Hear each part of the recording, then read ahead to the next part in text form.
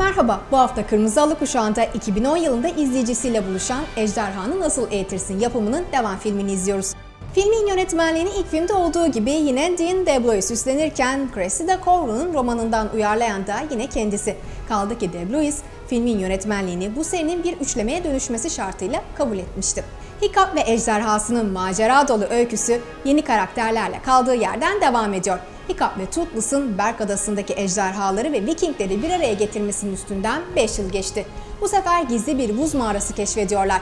Burası Dragon Rider'ın evi. Yeniden bozulma ihtimali olan huzuru korumak için bir savaşa giren Hiccup ve Toothless, insanların ve ejderhaların geleceğini korumak için ancak beraber hareket ederlerse başarılı olabileceklerini anlıyorlar. Artık inandıkları şeyler için bir arada olup ayakta durma zamanı. Keyifli seyirler.